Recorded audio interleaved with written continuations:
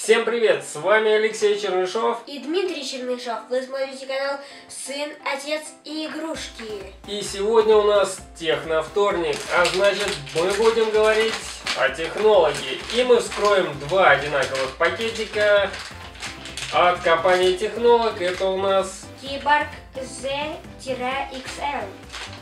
Ну что ж, и давайте взглянем, что нам приготовил Технолог за 47 рублей. Поехали. У меня зеленый.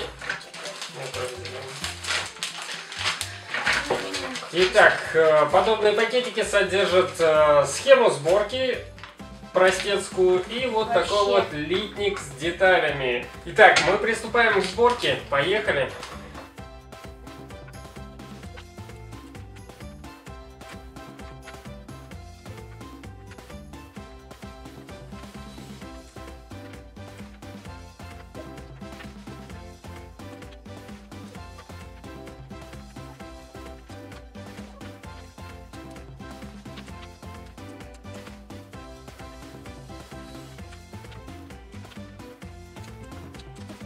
И палки, и самосамоталки. Блин, какие-то... Все,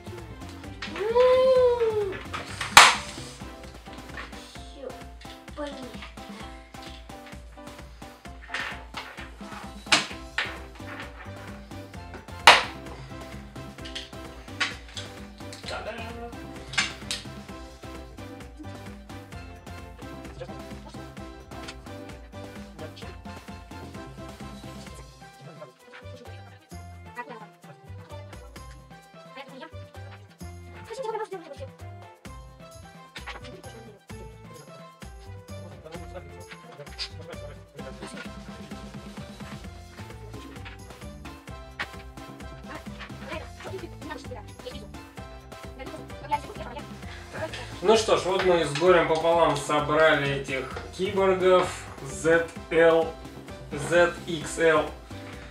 Что можно сказать? Ну, на мой взгляд, личные данные роботы, как заявлено на упаковке, для детей от 5 до 9 лет. Но в этом возрасте они явно их не соберут. Э, При сборке возникает очень большая проблема собрать робота в соединительных суставах, то есть в локтях, э, коленях и голеностопе. Очень тугие шарниры. С одной стороны, это, конечно, хорошо. Подвижность запредельная у робота получается, и ноги, руки не болтаются. Однако вставить эти шарниры очень и очень сложно. Я думаю, что не хватает надписи, как у, на многих коробках у технолога старого, было написано «Возможно, понадобится помощь родителей». Вот, кстати, я предлагаю выслушать мнение по поводу сборки и вообще в целом о роботе сына, потому что по факту это для них уже делается, а не для нас, здоровых дядек. Ну, что я могу сказать? По мне тут старая моделька получше, даже покрасивее. Это похоже как-то на зомби. Если вы поставите ночью на кровать и потом проснетесь, я думаю, вы испугаетесь.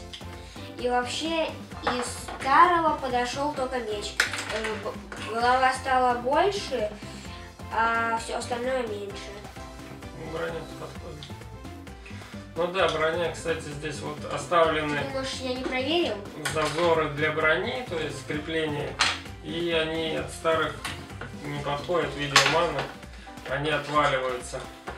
Ну что, по- по-моему, 47 рублей столько же стоит? По-моему, это, хоро- это мало для такого робота. Э, вообще очень робот хороший. А если, к- а если технолог бы выпустил к нему броню разную, наборы, ну, в пределах стоимости так, э, 47 рублей, как этот робот, по-моему, было бы очень классно. Броню с оружием. Да, кстати, вот если выпустить отдельный пакетик с броней, да, идея весьма интересная. Что вы об этом думаете? Пишите если согласны, да, конечно же, пишите в комментариях. Ну, если согласны, ставьте палец вверх, а то этот зомби к вам придет домой. На самом деле, что еще хотелось сказать э, про лица. Даже вот у нас две одинаковые модели, но лица заметно разные. О, Да и вообще мой какой-то поменьше, мне кажется. Размер у них одинаковый. Вот лица, с лицом какая-то проблема. Даже вот у старого, если сравнить старого с новым, у него морда поинтереснее получалась. Хотя здесь для шлема. Если все эти обвесы на него еще повесить, так вообще замечательный видеоман получался. Здесь же они отошли от своей серии, назвали его Keyboard ZXL. Возможно, нас ждет еще модели по этой вселенной, хотя таким ценником 47 рублей технолог немножечко катится под откос, учитывая то качество, которое он предоставлял лет 5-7 назад, и то, что он пытается нам сейчас навязать через прайс фикс прайс. Лично мне кажется, что технолог нынче опустил свою планку качества и как я уже сказал, катится под откос. Что можешь сказать? Тебе понравилось бы, ну, не знаю, тебе принесли бы пару таких роботов, интересно было бы тебе с ними играть? Конечно, чем больше, тем лучше. Э, зомби нападают, например, на это, он защищается. Ну, поскольку их всего двое, вот сделать это.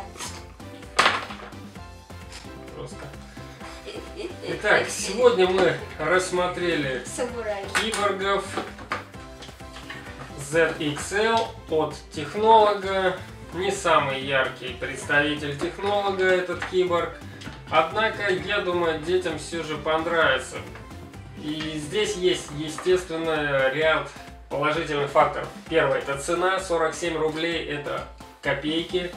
Второе, это приятный на ощупь пластик. Кстати, он очень похож на старый полиэтилен. Мягкий такой пластик и его будет сложно сломать. И третье, это, конечно, отсутствие едкого запаха. Пластик приятный не только на ощупь, но и на запах, скажем так. Э, то есть игрушка приятная в целом.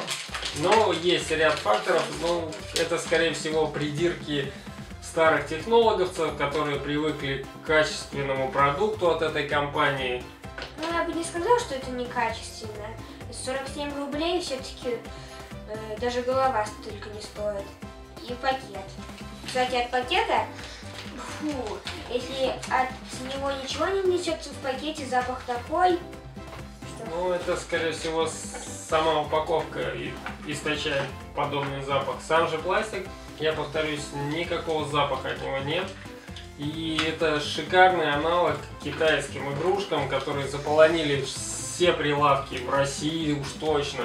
Если у нас в Эстонии с этим получше, хотя есть тенденция, что к нам Китай снова завозят в больших масштабах, и это печально. Лучше привозили бы игрушки из России, да, они бы стоили уже не 47 рублей, да, там чуть меньше евро, но стоили, даже если бы они 2-3 евро, я думаю, люди бы здесь их брали.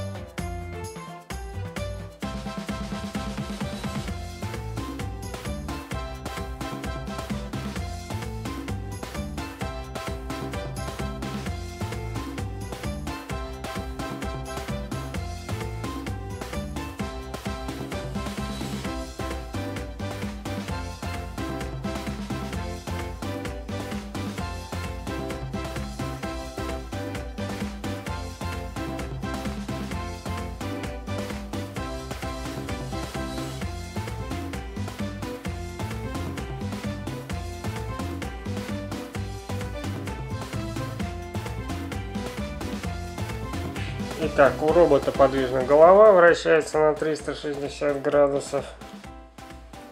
Вращаются руки в плечах.